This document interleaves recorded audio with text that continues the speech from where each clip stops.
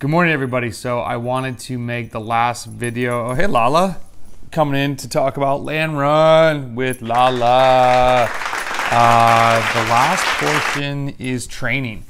So we covered nutrition, we covered the actual race, and now training. And gravel, this really applies to any big gravel event that you're doing. You could apply it to maybe your road racing if you road race the way the way I do. Um, but really, gravel, the big difference that we're all realizing about gravel is um, from road racing, there's really not much coasting. You know, even when you're in the group or you're behind somebody, it's less, you're not just chilling. You still got to pedal this bike over gravel. You're going a little bit harder over the climbs. The normalized power was really high for land run for the 75 miles that I was in it. Um, and that should your training should show the difference in that. So you need to be able to consistently pedal a bike for a really long time. Uh, one comment that the current collegiate time trial champion made to me was when he just won his first race of the year, man, I feel like it's those no coasting 10% rides you give me. And on the weekend, he'll just go out and I'll tell him, have your zone one time less than 10%. Continually pedal the bike. Don't coast. And if you go on a group ride, look at how much zone one time you have when you come back. It's crazy. It's probably 30%. So become efficient at pedaling a bike. And then use things like sweet spot, 93 to 94% FTP. We've talked about this a ton because it works. Um, start with 20 minute segments, go to 30 minutes. Um, do two by 30 minutes, rest just five minutes in between. Do one by 45 minutes.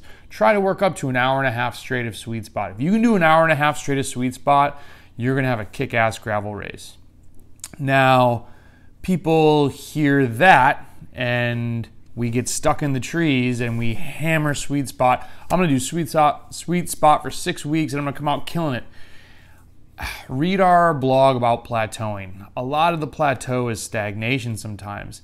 You can't just continually do something and see improvement. So the benefit of obviously growing as a cyclist and doing 25 minutes, then 45 minutes, then 2 by 30 minutes, you're changing up the duration, which sounds like not the biggest deal, but it does if you just do 2 by 30 all the time, I just it's not you're not going to grow from that. So not only change up the duration, but do sweet spot, also do some threshold. Do a little bit of 100%, 105%.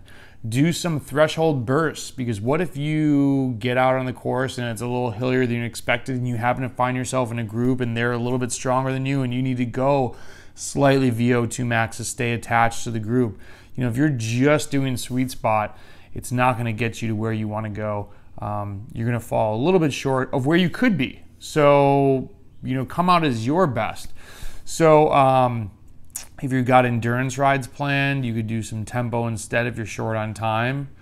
But the sweet spot, the threshold, the threshold burst, and then if you have time and it's not, and the intensity is not going to wreck your training schedule, I don't know everything else you have going on, do a little bit, little bit of VO2 max because it's just going to make you sharper on that high end stuff, especially if you're riding with people that are above your level. Um, so my training for Land Run 100 specifically, um, it wasn't a specific plan. Land Run was not an A race for me, and I've got it, it, gravel though suits how I road race. So while I'm saying it's not an A race, I didn't have specific goals of like, all right, I'm gonna try and get in the break. I'm gonna try and you know I need to be able to hammer this for this long. Um, I'm looking more at some longer road events. Joe Martin, the road races are very long.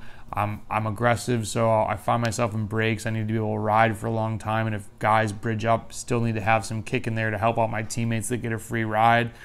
Um, so I was doing long sweet spot. I was doing some threshold. Um, the benefit of doing that, I could do some 60 minute benchmark tests. Um, really kind of round out my power duration curve and get a sense of where I'm at for this time of year. If you've been kind of following along, I've been trying to push things out about a month and a half later than normal because of where Masters Nationals and some other big gravel events are laying on the calendar. And I've also wanted to try to not lose my motivation for competitive cycling by July. Um, so I've removed some local events that I would usually go to. um, being in Memphis, Tennessee with a team in Oklahoma and a friend in Nashville. I was kind of driving all over the place every weekend. I was never in Memphis. And at the end of the day, you need to have a normal life also off the bike. And I want to do things in Memphis. So, um, and that just means you can do longer training rides. So, anyways, to that, that that's the kind of the training in a five minute video.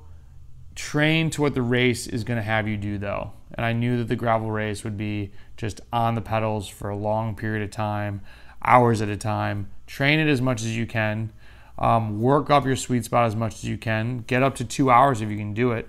Um, you'll see some improvements in your FTP, and you're going to come out and crush your event. And uh, hey, give it your best shot.